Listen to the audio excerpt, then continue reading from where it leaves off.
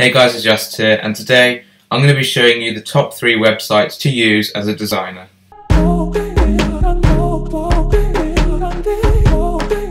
So guys, like I just said, in today's video I'm going to be showing you the top 3 websites to use as a designer. So some of these websites you may have already heard of, but hopefully you haven't heard of them all. So if this video does help you, it would be greatly appreciated if you could leave a like on the video to try and help me reach the goal of 10 likes. It would also be greatly appreciated if you could share my channel and subscribe. So with that said, let's get into the video. So guys, the first website is a website called Nobacks. So Nobacks is a free website where you're able to download HD images with no background. So what this means is that all the pictures that are available to download are in a PNG format.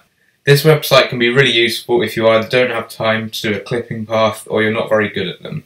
This is actually one of the first websites I ever used when I started designing, and personally I think it really helped me get my designs better. So guys, you may have already heard of the second website called Pexels, but essentially what Pexels is is a free website to download pretty much any image in 4K quality. I think this website is really good because the images you're able to download on here have incredibly high quality, especially as they're free. All you need to do is search for an image you'd like to find, and then click on the download button. Once you've done that, you can just drag or copy and paste the image into Photoshop. So guys, third and final website is Flat Icon. So what Flat Icon is, is a website where, just like the other two, you can search for a keyword and download a 2D vector icon. However, a drawback to this website is that you do have to credit the author of the icon you download.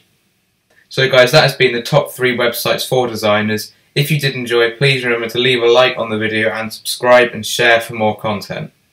If you'd also like me to make a second episode to this, please leave a comment and a like.